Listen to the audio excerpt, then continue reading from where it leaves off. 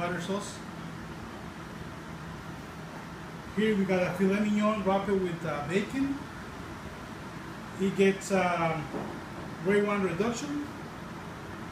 Um, I made up uh, a secret butter, which is uh, uh, seasons with uh, a little bit of spices and uh, sour cream and butter.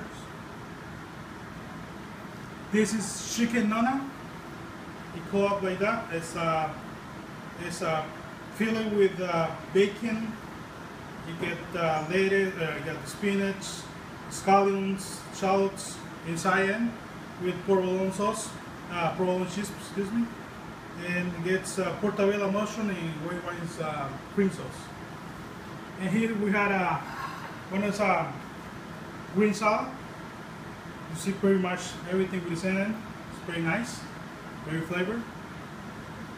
Feta cheese, olives, cucumbers. These cucumbers are being marinated with uh, balsamic vinegar. And then pretty much it.